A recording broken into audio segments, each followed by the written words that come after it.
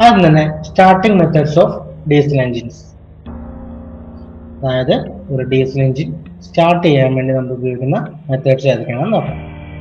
ഒന്ന് hand cranking രണ്ട് electric motor cranking മൂന്ന് ഹൈഡ്രോളിക് ക്രാങ്കിങ് മോട്ടോഴ്സ് നാല് കംപ്രസ്ഡ് എയർ ക്രാങ്കിങ് അഞ്ച് ഗ്യാസോലിൻ എഞ്ചിൻ സ്റ്റാർട്ടിംഗ് ആദ്യമായി നമ്മൾ നോക്കാൻ പോകുന്നതാണ് hand cranking usually small diesel engines are being started using crank handle or rope അതായത് സാധാരണ സിംഗിൾ സിലിണ്ടർ ചെറിയ ഡീസൽ എഞ്ചിനുകളൊക്കെയാണ് നമ്മൾ ഹാൻഡ് ക്രാങ്കിങ് ഉപയോഗിച്ച് ചെയ്യുന്നത്. ഹെവി ആയിട്ടുള്ള ഡീസൽ എഞ്ചിനുകൾ ഒരിക്കലും നമുക്ക് ഹാൻഡ് ക്രാങ്കിങ് ചെയ്യാൻ പറ്റില്ല. കാരണം അതിലെ കംപ്രഷൻ റേറ്റ് ഒക്കെ ഒരുപാട് കൂടുതലായിരിക്കും. പിന്നെ പ്രധാനമായും രണ്ട് ഭാഗങ്ങളുണ്ട്. മറ്റ് എഞ്ചിനുകളെ അപേക്ഷിച്ച് കൂടുതലുള്ളതാണ് ഒന്ന് ഒരു ഡീകംപ്രഷൻ ലിവർ. മറ്റൊന്ന് ഹാൻഡിൽ അല്ലെങ്കിൽ റോക്ക്. നമുക്ക് ആദ്യം ഡീകംപ്രഷൻ ലിവർ എന്താണെന്ന് നോക്കാം. ഡീകംപ്രഷൻ ലിവർ എന്ന് പറഞ്ഞു കഴിഞ്ഞാൽ എഞ്ചിൻ സിലിണ്ടറിനകത്തെ കംപ്രഷൻ ഒഴിവാക്കുന്നതിന് വേണ്ടിയിട്ട് എഞ്ചിൻ സിലിണ്ടറിനകത്തെ കംപ്രഷൻ ഒഴിവാക്കുന്നതിന് വേണ്ടി ഒരു വാൾവ് പ്രൊവൈഡ് ചെയ്തിട്ടുണ്ട്. ഈ ഡീകംപ്രഷൻ ലിവർ നമ്മൾ ഓപ്പൺ ചെയ്ത് വെക്കുകയാണെങ്കിൽ അല്ലെങ്കിൽ ഉയർത്തി വെക്കുകയാണെന്നുണ്ടെങ്കിൽ എഞ്ചിൻ സിലിണ്ടറിനകത്ത് കംപ്രഷൻ നടക്കത്തില്ല. ഇതുമൂലം തന്നെ നമുക്ക് ക്രാൻഷാഫ്റ്റ് ഈസി ആയി റൊട്ടേറ്റ് ചെയ്യാൻ സാധിക്കും. അതല്ലെങ്കിൽ ഫ്ലൈ വീൽ ഈസി ആയി നമുക്ക് റൊട്ടേറ്റ് ചെയ്യാൻ സാധിക്കും. ഇതിനെ സഹായിക്കാൻ വേണ്ടിയിട്ടാണ് നമ്മൾ ഒരു ഡീകംപ്രഷൻ ലിവർ എഞ്ചിൻ സിലിണ്ടർ ഹെഡിൽ ഘടിപ്പിച്ചിരിക്കുന്നത്. ഈ ഡീകംപ്രഷൻ ലിവർ ഉയർത്തി വെച്ച് നമ്മൾ ഫ്ലൈ വീൽ റൊട്ടേറ്റ് ചെയ്യുകയാണെന്നുണ്ടെങ്കിൽ ഈസി ആയി നമുക്ക് ക്രാൻഷാഫ്റ്റിനെ ഷാഫ്റ്റിനെ ഫ്ലൈ വീലിനെ കറക്കാൻ സാധിക്കും. ഇതിലൂടെ സ്റ്റാർട്ടിങ് സാധ്യമാവുകയും ചെയ്യും. ഒരു മിനിമം സ്പീഡ് എത്തി എന്ന് കണ്ടു കഴിയുമ്പോൾ നമ്മൾ ഈ ഡീകംപ്രഷൻ ലിവറിനെ ക്ലോസ് ചെയ്യുകയും എഞ്ചിനെ നോർമൽ റണ്ണിങ്ങിലേക്ക് വിടുകയും ചെയ്യുന്നു. അങ്ങനെ ഹാൻഡിൽ അല്ലെങ്കിൽ റോപ്പ് നമ്മൾ റിമൂവ് ചെയ്യുകയും ചെയ്യുന്നു. ഇതാണ് എന്റെ രണ്ട് പ്രധാന കാരണം നമുക്ക് വർക്ക് ചെയ്യുന്ന എങ്ങനെയാണ് ജസ്റ്റ് നോക്കാം. നമ്മൾ ഡീകംപ്രഷൻ ലിവർ ഉയർത്തി വെച്ചുകൊണ്ട് ഹാൻഡിൽ അല്ലെങ്കിൽ റോപ്പ് ഉപയോഗിച്ച് ഫ്ലൈ വീലിനെ ക്രാങ്ക് ഷാഫ്റ്റിനോട് അറ്റാച്ച് ചെയ്തിരിക്കുന്ന ഫ്ലൈ വീലിനെ നമ്മൾ റൊട്ടേറ്റ് ചെയ്യുന്നു. അങ്ങനെ റൊട്ടേറ്റ് ചെയ്ത് ഒരു മിനിമം സ്പീഡ് എത്തിക്കഴിയുമ്പോൾ നമ്മൾ ഡീകംപ്രഷൻ വാൾവ് ക്ലോസ് ചെയ്യുകയും ഈ ഹാൻഡിൽ അല്ലെങ്കിൽ റോപ്പ് നമ്മൾ റിമൂവ് ചെയ്തെടുക്കുകയും ചെയ്യുന്നു ഇതിലൂടെ നമുക്ക് എഞ്ചിന്റെ സ്റ്റാർട്ടിങ് സാധ്യമാവുകയും ചെയ്യുന്നു ഈ മെത്തേഡിനെയാണ് നമ്മൾ ഹാൻഡ് ക്രാങ്കിങ് എന്ന് പറയുന്നത്. നമുക്ക് ഒരിക്കലും ഹെവി ആയിട്ടുള്ള ഒരു എഞ്ചിനിൽ നമുക്ക് ഉപയോഗിക്കാൻ പറ്റില്ല. സിംഗിൾ സിലിണ്ടർ സ്മോളർ എഞ്ചിനുകളിലൊക്കെ നമുക്ക് ഉപയോഗിക്കാൻ പറ്റുള്ളൂ. ഇതിന്റെ ഒരു ഡിസഡ്വാന്റേജ് എന്ന് പറഞ്ഞു കഴിഞ്ഞാൽ നമുക്ക് ഹെവി ആയിട്ടുള്ള ഫ്ലൈ വീൽ ആവശ്യമായി വരും.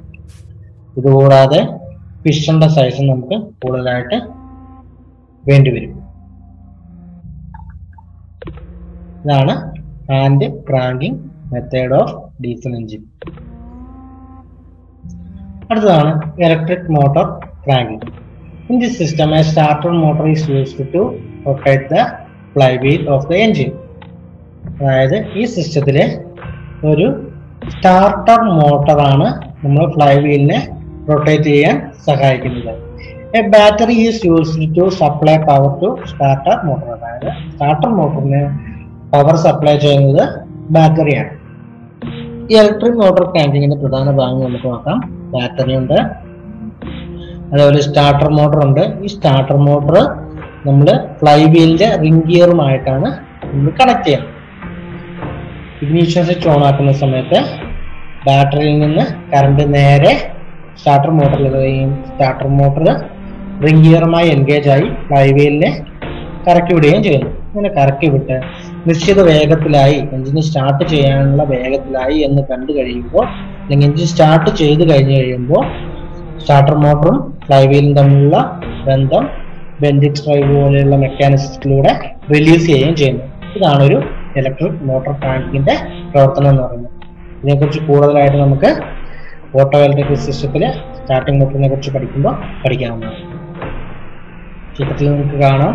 ഒരു സ്റ്റാർട്ടർ മോട്ടറാണ് ഫ്ലൈ വീലിലേക്ക് നിങ്ങൾ എൻഗേജ് ആയി നിൽക്കുന്നത് നിങ്ങൾക്ക് കാണാൻ സാധിക്കും. ഫ്ലൈവീലിന്റെ റിംഗ് ഗിയർ എന്ന് പറയുന്ന ഭാഗത്തിലേക്കാണ് സ്റ്റാർട്ടർ മോട്ടർ എൻഗേജ് ആയിരിക്കുന്നത്.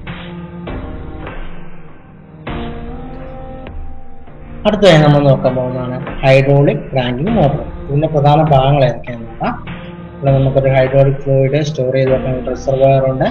ഫ്ലൂയിഡ് ലൈനുകളുണ്ട് ഇവിടെ ഒരു ഹാൻഡ് ഡ്രിവൺ പമ്പ് ഉണ്ട്. ഇതൊരു എഞ്ചിൻ ഡ്രിവൺ പമ്പ് ഉണ്ട്. കൺട്രോൾ വാൾവ് ഉണ്ട്. പിന്നെ സ്റ്റാർട്ടർ മോട്ടറും ഉണ്ട്. സ്റ്റാർട്ടർ മോട്ടറാണ് ഫ്ലൈ വീലുമായിട്ട് എൻഗേജ് ആയി നിൽക്കുന്നത്. ഇനി ഇതിന്റെ പ്രവർത്തനം എങ്ങനെയാണെന്ന് നമുക്ക് നോക്കാം. In the system hydraulic fluid under pressure passes through hydraulic shutter to rotate the engine fly wheel ഈ സിസ്റ്റത്തിലെ ഹൈ പ്രഷറിലുള്ള ഹൈഡ്രോളിക് ഫ്ലൂയിഡ് സ്റ്റാർട്ടർ മോട്ടറിലേക്ക് പാസ് ചെയ്യുകയും ഇതുമൂലം സ്റ്റാർട്ടർ മോട്ടറിന്റെ ഇമ്പല്ലർ റൊട്ടേറ്റ് ചെയ്യുകയും ചെയ്യുന്നു. ഇങ്ങനെ റൊട്ടേറ്റ് ചെയ്യുന്ന സമയത്ത് ഈ ഫ്ലൈ വീലുമായി കോണ്ടാക്ട് ഉള്ള സ്റ്റാർട്ടർ മോട്ടർ ഫ്ലൈ വീലിനെ റൊട്ടേറ്റ് ചെയ്യുകയും ചെയ്യുന്നു. ഇങ്ങനെയാണ് ഇതിന്റെ പ്രവർത്തനം നടക്കുന്നത്. A hand pump or an engine driven pump is provided to create and develop pressure of fluid. അതായത് ഹാൻഡ് ഡ്രിവണോ അല്ലെങ്കിൽ അല്ലെന്നുണ്ടെങ്കിൽ ഒരു എഞ്ചിൻ ഡ്രിവണോ പമ്പ് ഉപയോഗിച്ചാണ് സാധാരണ നമ്മൾ ഈ ഫ്ലൂയിഡിനെ പ്രഷറൈസ് ചെയ്യുന്നത്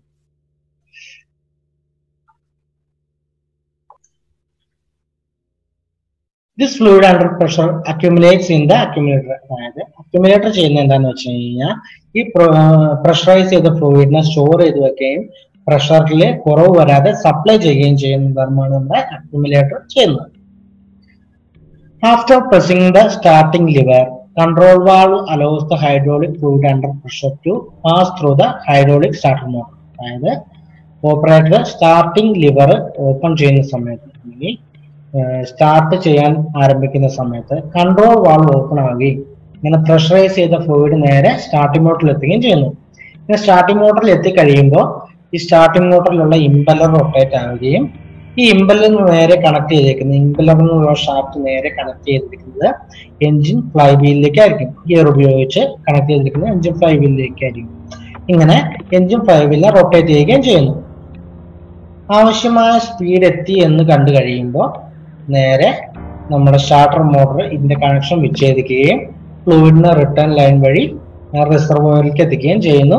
ഇതിന്റെ പ്രവർത്തനം സ്റ്റോപ്പ് ആവുകയും ചെയ്യുന്നു. എഞ്ചിൻ സാധാരണഗതി ഗതിയിൽ പ്രവർത്തനം ആരംഭിക്കുകയും ചെയ്യുന്നു. ഇതാണ് ഒരു ഹൈഡ്രോളിക് ക്രാക്കിംഗ് മോട്ടറിന്റെ വർക്കിംഗ് എന്ന് പറയുന്നത്.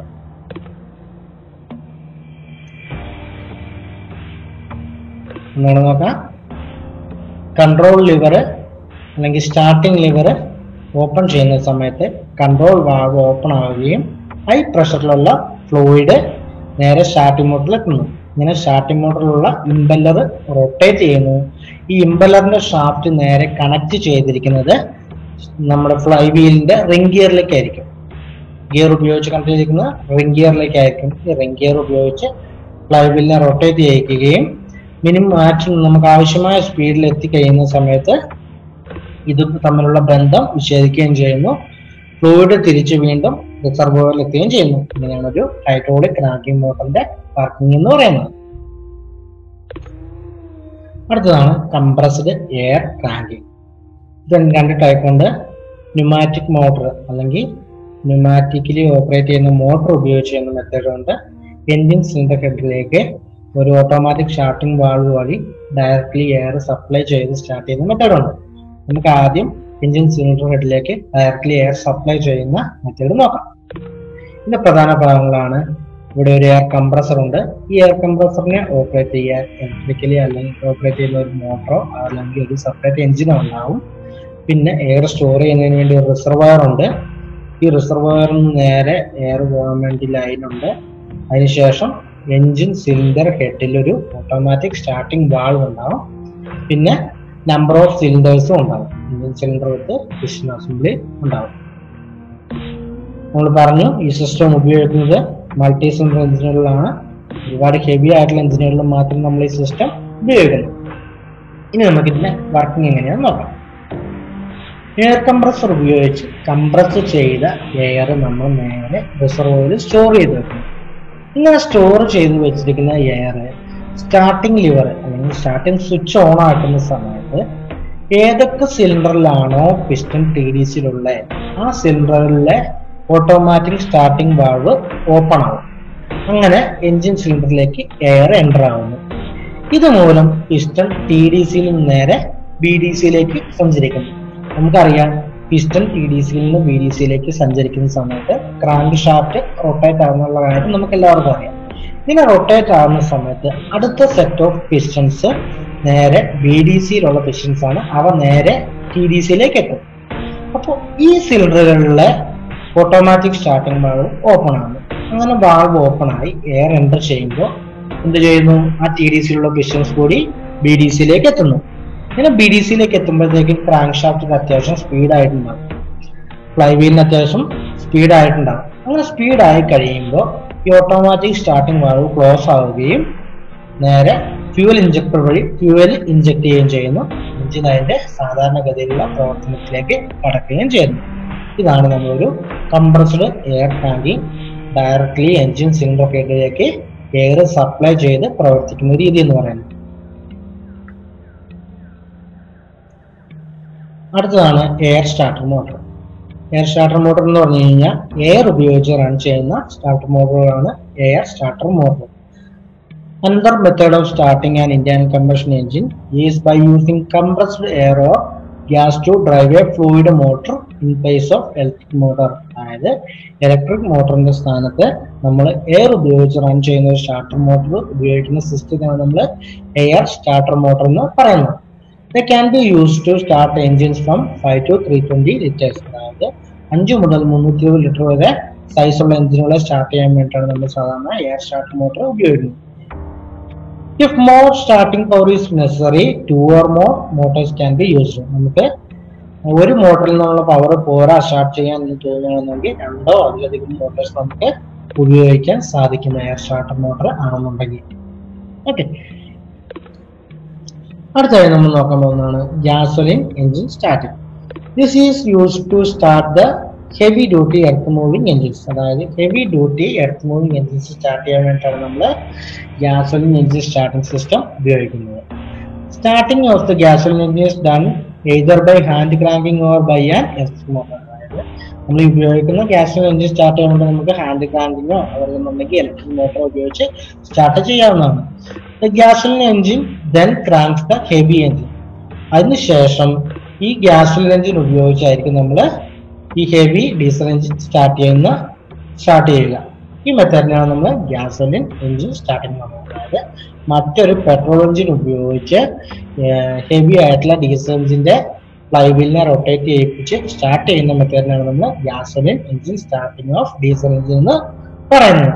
ഇത് നമ്മൾ ഉപയോഗിക്കുന്നത് ഹെവി ഡ്യൂട്ടി എർത്ത് മൂവിംഗ് എഞ്ചിൻസിലാണ് അതായത് നമ്മൾ നോക്കാൻ പോകുന്നതാണ് stopping methods of diesel engines diesel engine stop ചെയ്യാൻ ഉപയോഗിക്കുന്ന methods generally diesel engines are stopped by cutting the fuel supply സാധാരണയായി നമ്മൾ ഡീസൽ എഞ്ചിൻ സ്റ്റോപ്പ് ചെയ്യുന്നത് ഫ്യൂവൽ സപ്ലൈ കട്ട് ചെയ്താണ്. After reducing the engine speed to the minimum level engine speed minimum ലെവലിൽ എത്തിച്ചതിന് ശേഷം മാത്രം നമ്മൾ ഫ്യൂവൽ കട്ട് ചെയ്ത് സ്റ്റോപ്പ് ചെയ്യാൻ പാടുള്ളൂ. ഇതാണ് stopping method of diesel engine മറ്റൊരു മെത്തേഡ് നമ്മൾ ഉപയോഗിക്കുന്നുണ്ട് എയർ എയറിന്റെ ഫ്ലോ കട്ട് ചെയ്തും നമുക്ക് വേണമെന്നുണ്ടെങ്കിൽ ഡീസൽ എഞ്ചിനെ സ്റ്റോപ്പ് ചെയ്യാൻ സാധിക്കും. ഇതാണ് ഡീസൽ എഞ്ചിന്റെ സ്റ്റോപ്പിംഗ് മെത്തേഡ്സ്